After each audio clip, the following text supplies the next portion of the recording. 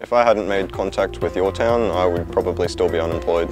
I'd be sitting at home playing video games, doing absolutely nothing with my life. After a period of my life where I sort of didn't really want to wake up so much at all. I wake up every morning with a smile on my face, you know. yourtown's social enterprises is the real life, hands on experience with qualified trainers helping create brighter futures for young people in Australia. One of the key features of our work is perseverance. We never give up on the young person. Josh, we've used the drop saw before, so we make sure we've got our PPE. I take a crew of young guys or girls and uh, we do commercial work for, for various organisations, our own included.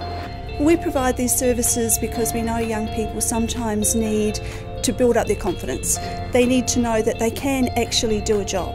And they also need to know that they can be supported in a way that continues their development and growth. I first heard about yourtown when I was unemployed approximately 12 months ago. I got to this point by working at yourtown, and doing different courses and then got referred up to enterprises. It's very important for the community to have yourtown because we offer opportunities for young people uh, where they might not have uh, otherwise.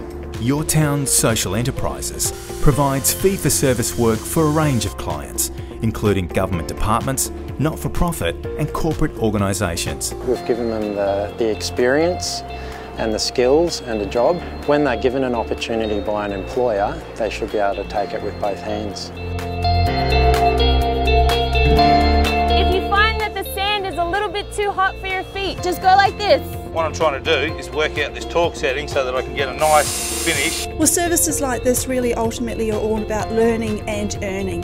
So young people can build self-esteem, they learn skills, they really understand what it's like to have a job and they're also making a contribution to community. So it's a real win-win for them, us and the community as a whole. It's about sort of seeing the look on the faces of the young people that I work with and, and seeing that they're actually um, you know, becoming more happy and stable in their own lives. Thank you very, very much for this opportunity. It has been so beneficial. And now I wake up at 5am every single morning with a smile going, yes, get to go to work today and earn some money. We want to keep creating brighter futures through yourtown's social enterprises. Help us help young people in Australia.